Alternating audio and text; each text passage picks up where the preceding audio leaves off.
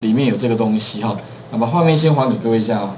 城市部分哦，其实为什么要刚刚会先讲这个部分的资料，怎么样去切，怎么样去组合，有没有？实际上呢，这些动作哈，基本上就是城市里面所做的所做的动作哈。所以我们回回过来看一下，特别注意就是说，这个地方呢，它有一个分区哈。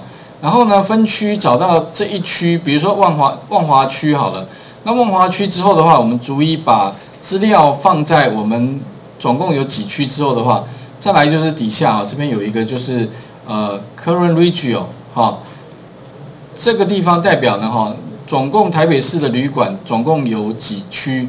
那取怎么样取得里面的长度哦？可以从 region data 里面点 lex 去找到。那这个 lex 就是上面哦，它会有个计算。那里面的话呢，分别在怎么样去储存它的名称，啊，这个旅馆的名称跟它的地址电话。那这些资料实际上哈，就是我们刚刚处理的嘛，哈，就是说我们刚刚在第二阶段里面也是要组出这些资料。那这些资料怎么刚好可以把它全部组组出来哈？就底下动作里面的话，分别哈。我们从每一区里面的资料去取得，总共，比如说万华区，它里面假设有三十一间啊这个旅馆，那里面的话呢，从这旅馆里面呢，再分别把里面的资料通通都抓出来，抓出它的什么呢？它的名称、它的地址，还有联络电话。那你会发现哦，这个地方不是有什么，也是一样。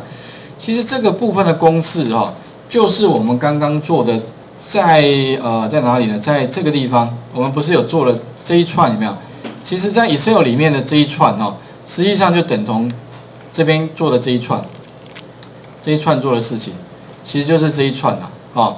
那只是说呢，底下它有很多，到底有几区？比如说万华区有几间，它就跑一个回圈，把万华区的资料呢，通通都抓出来，并且存放在阵列里面。OK，接下来呢，哈。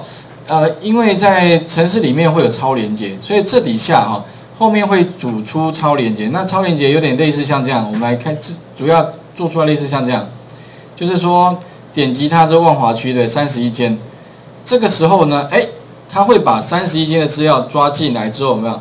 另外呢，除了把资料放上去之外，还要能够做出一个什么呢？做出一个超连接。各位有没有看到这个 list view 旁边有个箭头？那这个箭头呢？哈，怎么样把它加进来呢？好，就是底下的这一这一段程式嘛，就是在这边有没有？这边有一个宣告一个变数，这个变数是主字串，那里面的字串是什么呢？就是一个。